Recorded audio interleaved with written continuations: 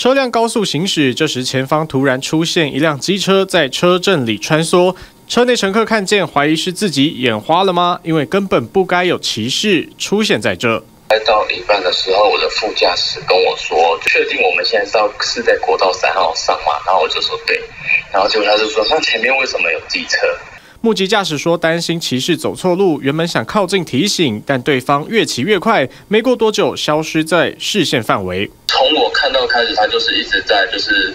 内侧车道那边转来转去，这也没有往右靠的意思。这名白衣骑士似乎很熟练。二十九号下午四点多，不顾四周车辆速度都很快，大胆骑在速限一百一十的国道三号上，还是无牌机车。国道警察获报后前往查看，但没发现这名骑士，将调阅监视器画面追出车主开罚。根据道路交通管理条例，机车骑上国道最高可以开罚六千元，红黄牌重机也适用。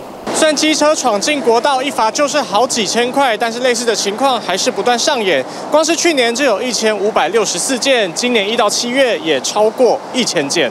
曾经有骑士照着导航指示却骑上国道，机车主使用时得勾选避开收费路段，更别因为抢快故意违规。毕竟高速公路上车辆时速都在一百公里左右，千万别拿命开玩笑。TVBS 全网新闻播音新美视报道。请订阅、按赞、分享 TVBS 新闻频道，并开启小铃铛。也请下载 TVBS 新闻 APP，随时掌握国内外大事。